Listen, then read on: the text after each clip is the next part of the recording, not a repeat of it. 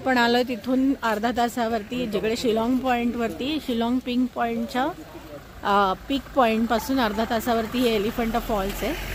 मधा मध्ये येताना एक ईस्टर्न कमांडचं एअरफोर्स म्युझियम पण लागतं पण तिकडे आता खूप गर्दी होती म्हणून आपण ते नंतर बघणार आहोत.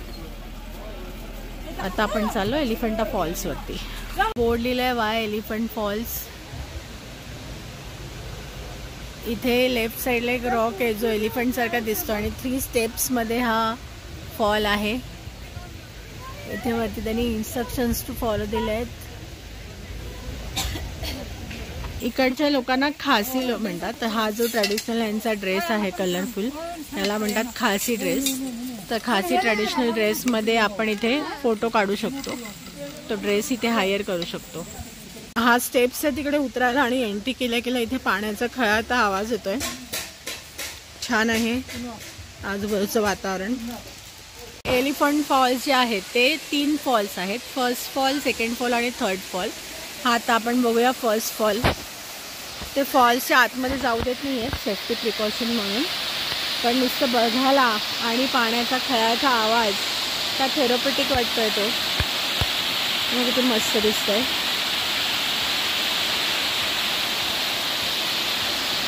आता पावसाळा नसल्यामुळे पाणी कमी आहे. भर पावसामध्ये हा फॉल अजून दुथडीवरून वाहतो असं इकडचे लोकल्स सांगतात. तर हा आपण फर्स्ट फर्स्ट स्टेप बघितली. आता आपण सेकंड स्टेपला जाणार आहोत.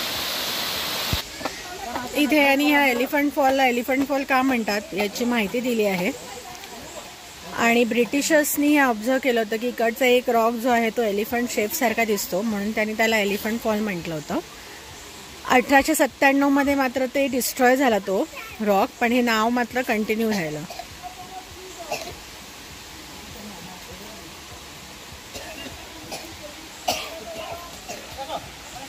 असं स्टेप्स उतरून आता पुढच्या लेवलला जायचं आहे स्टेप्सवरून आपल्याला खाली उतरून यायचं आहे आणि आता इथे जायचं आहे खाली. खाली आता आपल्याला सेकंड लेवल दिसणार आहे. तर आपण इथे सेकंड लेवलच्या इथे आलो. इतका छान गारठा आहे हवेमध्ये. गुलाबी थंडी आहे. एकदम सुंदर वाटत आहे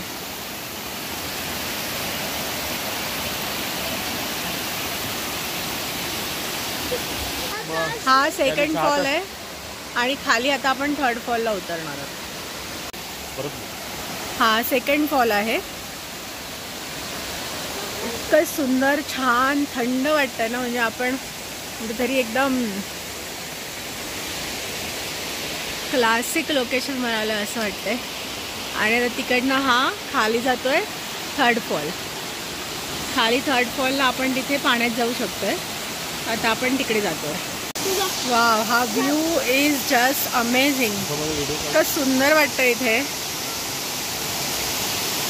ह्या फॉलची ब्युटी खरंच शब्दातीत आहे. हा it is a must visit spot इथे नक्की यायला हवं.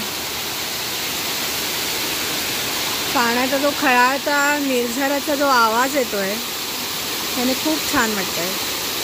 सेकंड पॉलवरून खाली येताना स्टेप्स उतरताना स्टेप्स खूप ओल्या असतात. त्यामुळे अगदी सावकाश जपून खाली यायला पाहिजे. ती काळजी तुम्ही नक्की घ्या. अतिशय सुंदर पॉईंट आहे. इकडे पाच मिनटं बसलं निवांत तर अतिशय छान वाटतंय. हे दगडांवर उभं राहून लोक फोटो सेशन करतायत. गार वारा वाहतोय. आणि शब्दात सांगता येण्यासारखं नाही आहे की इथे कसं वाटतंय. व्हिजिट कराल तरच समजेल. इथेच बसून राहावं असं वाटतंय. इथून परत जायचं मन नाही करत आहे खरं तर. पण आता आपल्याला जायला लागेल. पुढच्या ह्याच्यावर. हॉलच्या स्टेप्स ज्या आहेत त्या एकदम ब्रॉड आहेत. त्यामुळे उतरताना नाही पण चढताना चांगलेच पाय भरून येतात.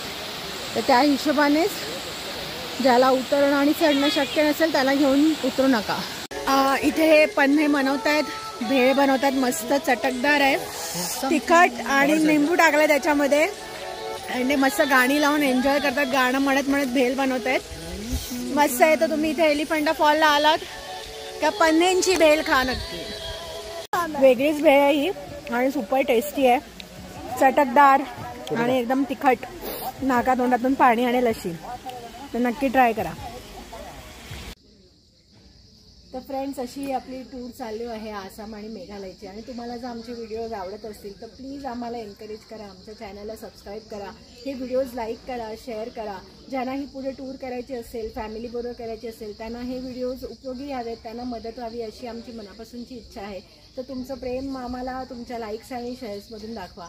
आमचं हे जे चॅनल आहे ब्युटिफुल लाईफ हे म्हणजे काही स्पेसिफिक जोनर नाही आहे एका सामान्य माणसाचं जसं जीवन फ्लो होतं कधी तो फिरायला जातो कधी मॉल्समध्ये जातो कधी रेस्टॉरंटमध्ये जातो जिथे आम्ही जातो तिकडचे रिव्ह्यूज जे जे आम्हाला असं वाटतं की जे व्हिडिओज सगळ्यांना उपयोगी पडू शकतात जी माहिती मला कोणी दिली तर मला आवडेल ती माहिती दुसऱ्यांबरोबर शेअर करण्याचा आमचा हा प्रयत्न असतो. तर आमच्या या प्रयत्नाला तुमचा सहभाग नक्की द्या. धन्यवाद.